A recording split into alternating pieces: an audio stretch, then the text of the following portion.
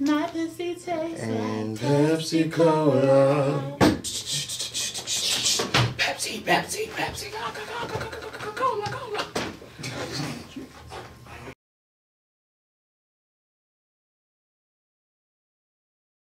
I'm so excited. I think it's gonna be fantastic for BRTB TV to have a show like this. It's so different from any any, any other show that um, BRTB TV has done, and you know, being on also part of Davenport Diaries and this is gonna be so different to work with such a different cast and such a different script and my character is completely the opposite of what Chloe is so I'm so excited for it.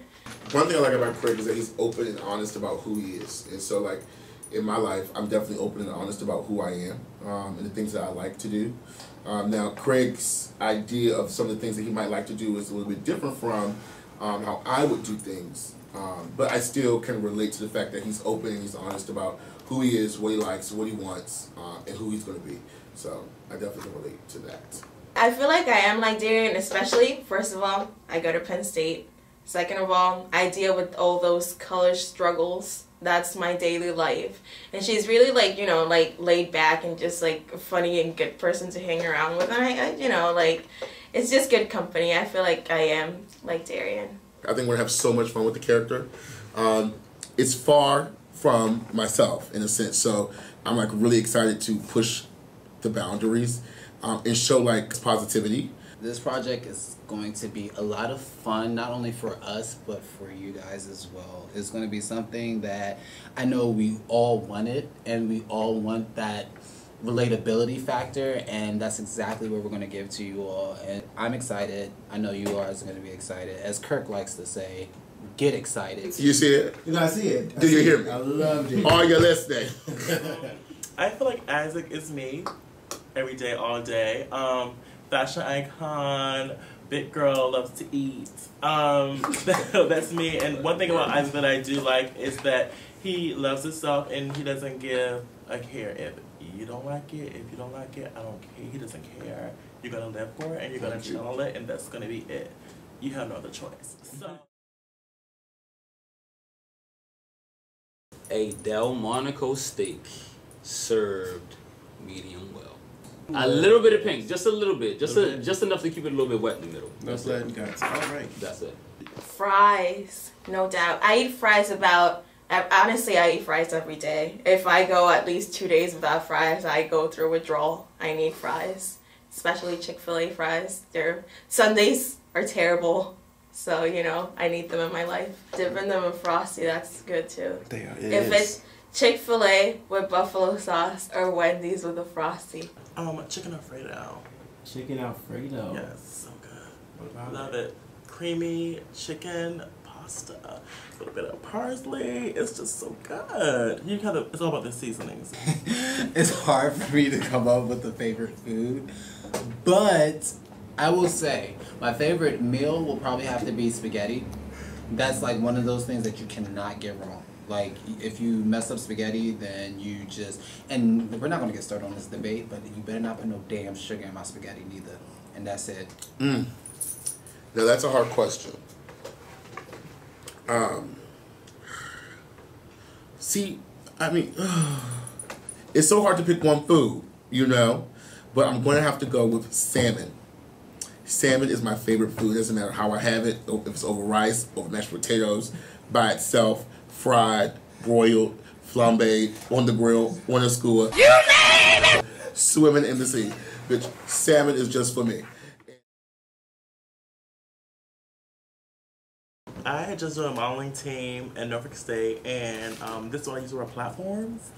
And I had just joined a modeling team, and I was walking to the cab, and the platform was I walked over a hill, and I fell, and I sprained my ankle. so my ankle was sprained for like a whole week.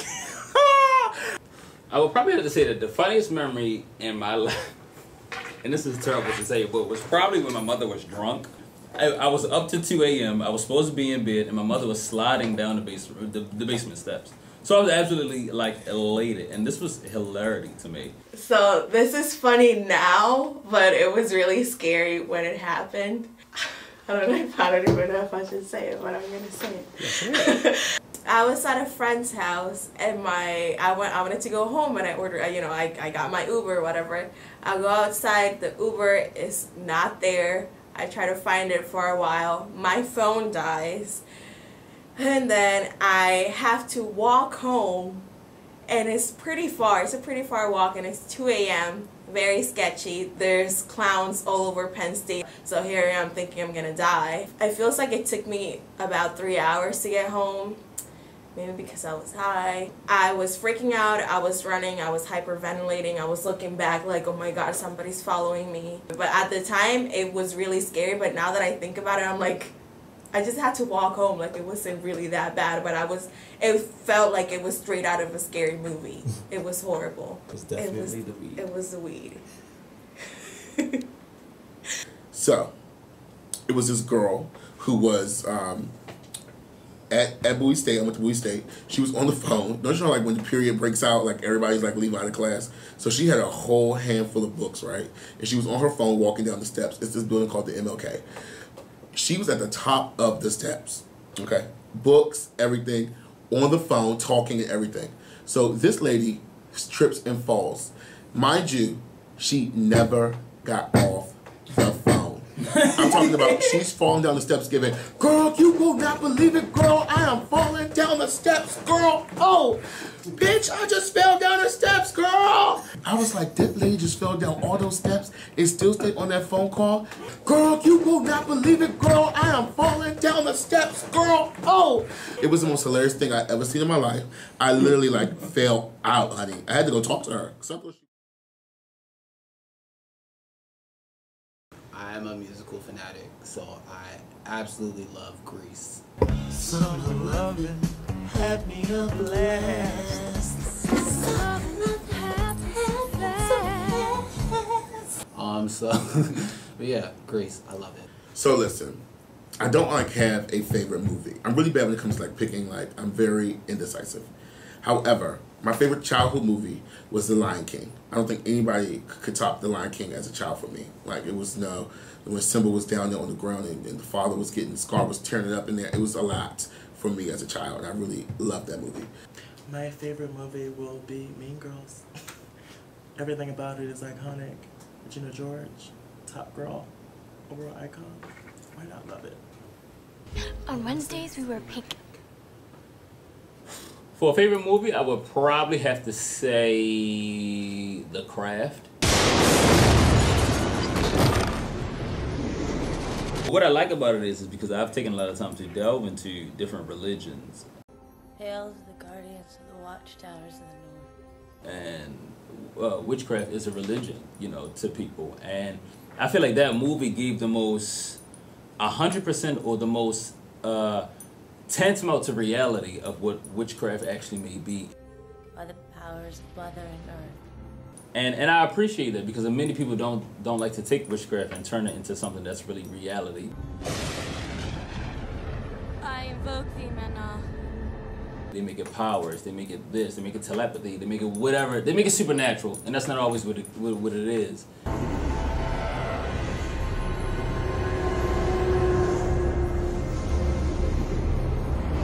It's simply about energies, so that's that's probably my favorite movie.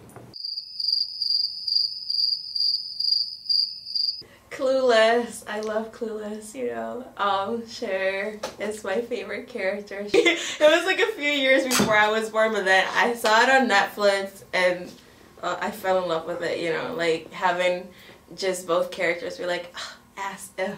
Give me your best as if, just like just like Okay, Cher was okay. saying. Okay, you have to have your hair up like this, because, you know, it has to be a hair flip, so it has to be like, "Ah, as if. The darker the berry, the sweeter the juice. I do not drink light liquor. I only drink brown liquor. So what I'm going to hit you off with is a Hennessy or Jameson or Jack or Jim Beam. Those are my top four. If somebody come up to me in the club and ask me for a cocktail, it's, I'm giving a Jack and Coke. I'm not going to hit you over the head with Henny because I don't want you to think I'm that type of girl. But I'm going to get Henny for myself normally. Get excited about that. And Trey come over and he's like, "Can I buy you a drink?" Like, what do you say? Um, if I'm, I can get some water. But That doesn't happen to me, but Um, I don't drink, but I'll ask like water or something like a Sprite or something. But I don't have a favorite drink of choice. Okay, okay, respect. No pressure. No pressure. We'll get you. No drinking. We'll get you. Vodka, light liquor, or tequila. Tequila's good, but you know, if you go to the bar, you get free drinks. And I'm just like, oh, anything, anything goes, except for Hennessy.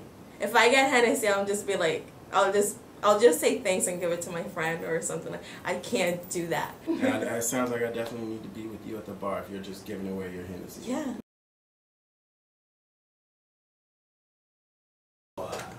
Jesus You have these three options. You must fuck one, marry one, and kill the other. Barack Hussein Obama, Kanye West, and Donald J. Trump. Easy. Fuck, marry, kill. Um, I would date Kanye West. I would um, marry Barack Obama, of course. Off the head with Trump. Wait, did you say date Kanye West? Yes. So you don't curse either? Oh, you want me to say fuck? Okay. Say Um, what feels, say, say what comes natural. I feel like dating is more.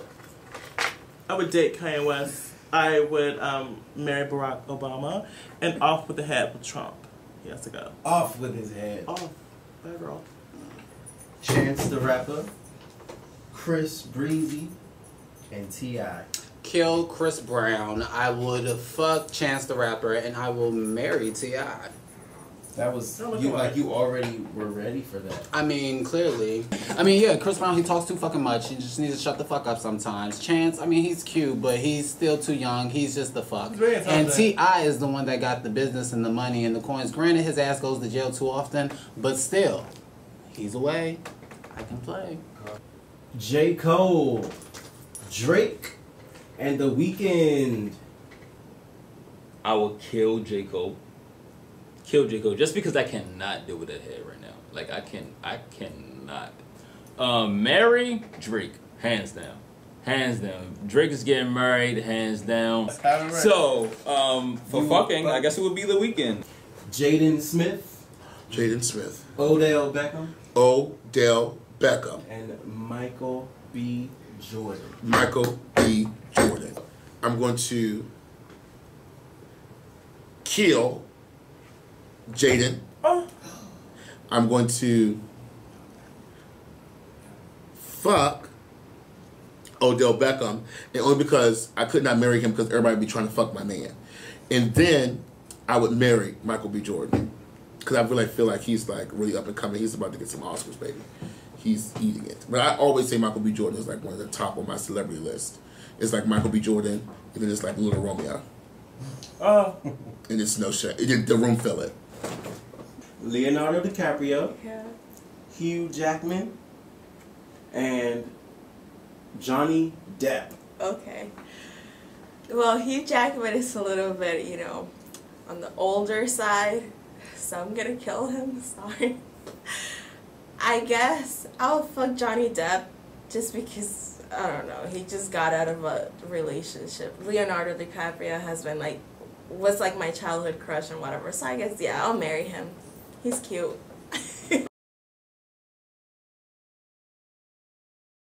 One of my aspirations is to be a lighthouse for the um, plus size. Um, I feel like that um, that is not talked about at all. Yeah, that's one of my aspirations. Yes, The lighthouse. Absolutely. Be a lighthouse. He is a lighthouse. Hashtag lighthouse. Hashtag lighthouse. Hashtag lighthouse. Hashtag in the room. BOTV TV. Hashtag lighthouse. You have now had your interview with Dana Turner Jr. Please do your best to tune in February 2017 as I am delivering to you Gabriel. The Uglies will be coming to YouTube on February 2017 on BRTB TV.